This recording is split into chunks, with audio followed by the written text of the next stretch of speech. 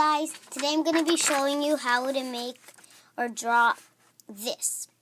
I'm not going to be including how to draw um, the dots on the dress or um, the hair stuff. Not the, her hair, but his hair I'm going to do. Um, I'm not going to color it in like last time either, so let's just get started. Um, so first, you're going to start off by drawing the girl's hair. So you draw like an upside down U, and then you draw some like weird stuff like that, like a cartoon hair. Um, you know what? I'm I'm just gonna do her hair stuff. Like, okay, there. So there's her hair, and then her dress, and then she's holding like a little heart that maybe the boy gave to her or something. And then she's holding his hand, so her hand's to be sticking out like that. So they're also walking like that way.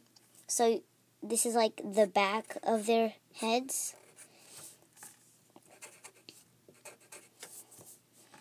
Um, and so let's just draw the boy's head. That's a little small, but that's fine.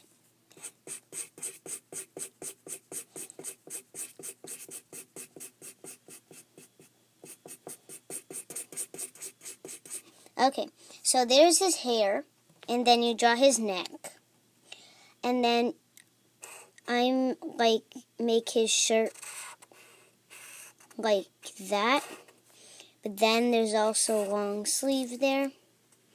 Ah, sorry um about that.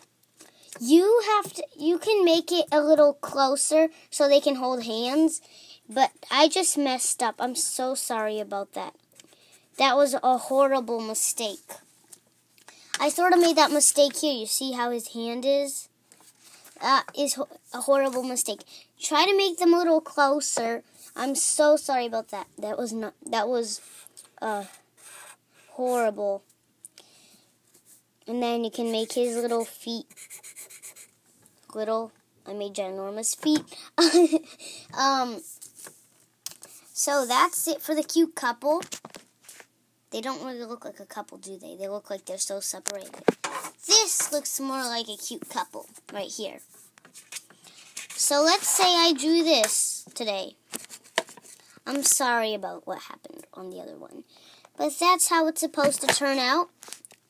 Um, anyway, guys, bye.